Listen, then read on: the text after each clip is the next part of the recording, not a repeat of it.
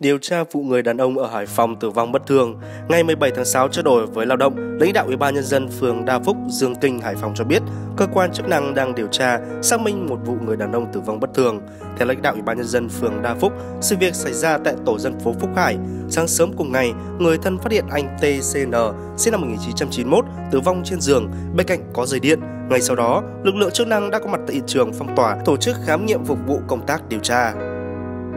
EVN cắt điện miền Bắc sẽ ở mức thấp nhất trong tuần tới. Tập đoàn Điện lực Việt Nam EVN vừa có báo cáo gửi Thủ tướng Chính phủ về tình hình cung cấp điện trong nửa đầu tháng 6. EVN dự kiến mức cắt giảm ở miền Bắc trong tuần tới là 2.000 đến 2.500 MW, song mức này thấp hơn khoảng 20 tới 30% công suất tiết giảm bình quân những ngày đầu tháng 6 và bằng một nửa mức tiết giảm của ngày cao nhất là 5.000 MW.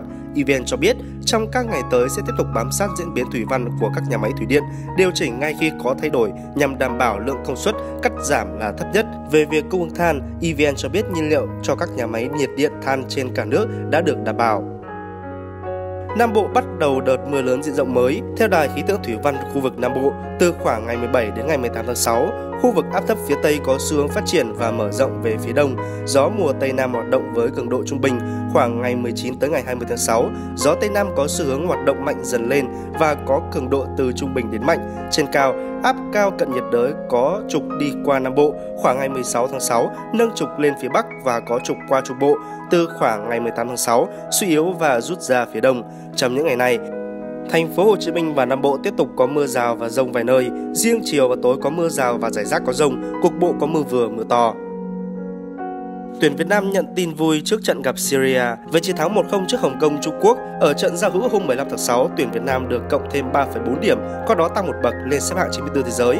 Vị trí này giúp cho thầy trò Philippe Georgier có lợi thế trước vòng loại World Cup 2016.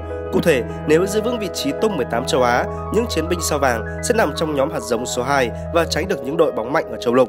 Như vậy, thứ hạng của tuyển Việt Nam được quyết định sau trận gặp Syria tới đây. Chỉ cần kết quả hòa, tuyển Việt Nam tiếp tục được cộng điểm.